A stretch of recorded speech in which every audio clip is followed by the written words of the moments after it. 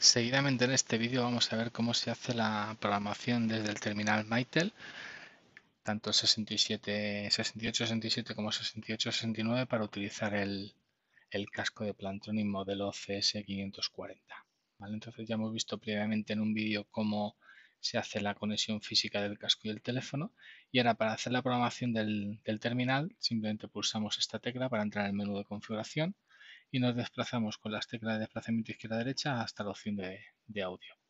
Dentro de la opción de audio lo primero que vamos a hacer es seleccionar esta opción que pone modo audio, le damos al centro y en modo audio nos vamos a asegurar que hemos seleccionado la última opción que es auricular más altavoz.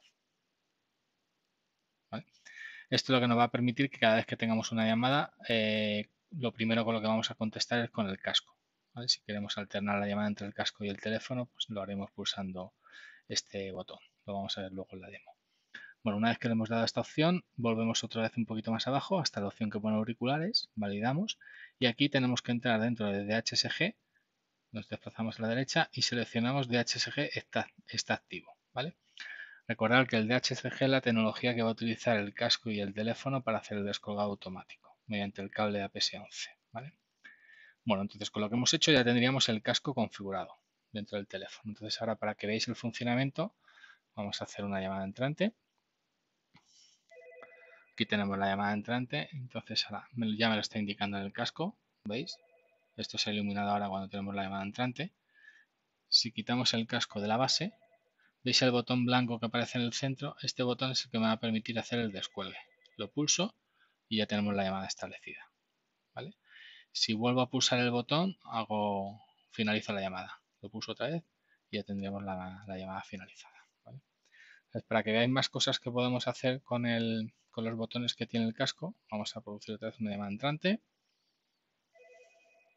descuelgo, ya estamos en, en conversación. Entonces, aquí en el canto del teléfono tenemos este botón que tiene opción de subir y bajar. Eso es para subir y bajar el volumen. Si el botón del centro, en lugar de subir o bajar, lo pulso, lo que hace es que directamente a ver si. Ahí está. Se ha puesto en rojo la base.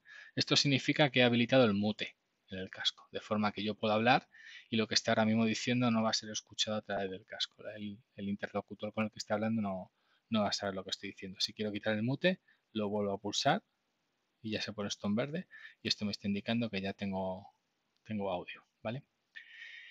Eh, ahora mismo estaría hablando con el, con el casco, el auricular. Si lo que quiero es, sin que se corte la comunicación, pasar la llamada al teléfono, simplemente pulso este botón y ahora mismo tendríamos la llamada en manos libres en el teléfono. Hola, hola, ¿veis? Lo estáis viendo. Si en lugar de estar en manos libres quiero hablar con el microteléfono, pues simplemente lo descuelgo, ¿vale? Si quiero otra vez dejarlo al casco, dejo pulsado la llamada, cuelgo y ya cuando está parpadeando, eso significa que la llamada está en el casco. ¿vale? Cuando está fijo significa que está en el teléfono.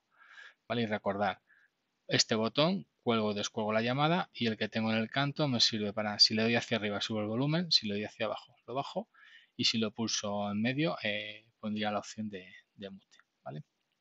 Por otro lado, acordaros que la conexión que tengo entre el casco y la base es DEC, con lo cual podría tener hasta más o menos unos 100-120 metros de, de cobertura. ¿vale?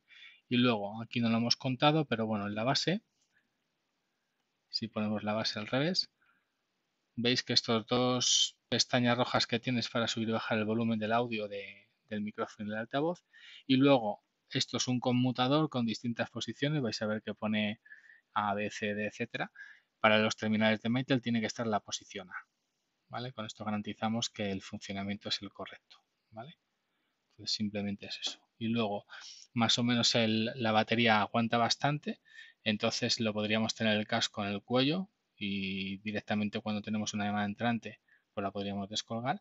Y luego en un momento dado si queremos dejarlo en carga pues simplemente lo apoyamos lo dejamos que, entre en la base y en el momento que entra en la base ya tendríamos la, la carga nos está indicando aquí la carga. Habéis visto también que si lo cuelgo con una llamada establecida y lo coloco en la base también ha finalizado la llamada. Fijaros vamos aquí el teléfono. Hacemos una llamada entrante. Descolgamos con el casco. Llamada establecida. Y lo que decía, si yo ahora lo pongo a la base, habéis visto, ha finalizado la llamada. ¿De acuerdo? Eh, si lo tenemos en la base y entra una llamada entrante, y me lo estoy diciendo, descuelgo y la llamada sigue entrando. ¿Veis? Aquí lo está viendo. No, ha hecho el descuelgue. Para descolgar, otra vez hay que pulsar el botón. Cuando este indicador está en verde, significa que tengo la, llamada establecida. Si lo pulso otra vez y se queda en, reposo, es decir, apagado, no tengo llamada. Y si está parpadeando, significa que hay una llamada entrante. ¿vale? Y esto es el indicador de, la batería. ¿vale? Cuando esté cargando va a parpadear y cuando esté bajo de batería se pondrá en, rojo. ¿De acuerdo? Muchas gracias.